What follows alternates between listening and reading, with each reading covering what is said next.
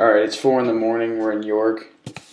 I got my boy D here, and uh, it's been snowing like crazy, man. It's ridiculous, and it hasn't stopped since like what twelve. So we're gonna go check how the snow is. So we're gonna go outside now.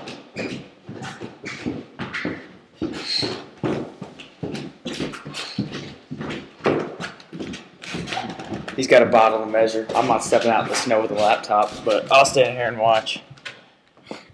So, before I turn around and show you, we were only supposed to get 12 inches. I would say that's a lot more than 12 inches. We're looking at like 18 inches of snow right now. It's a winter wonderland.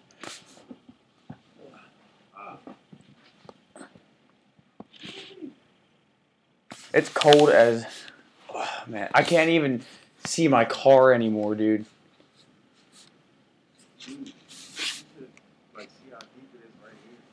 I'm going. I'll go underneath here.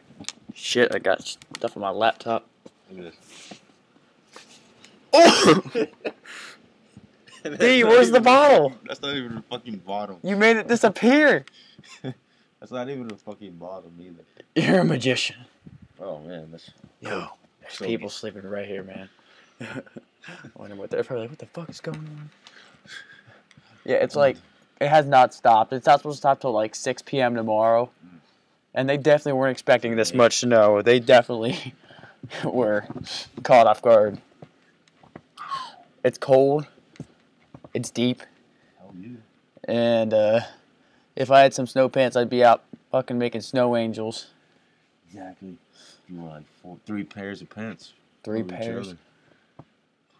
You got look like you got some mad dandruff going on there, homie. Oh yeah. Oh, get out of here. So yeah, we definitely weren't expecting this.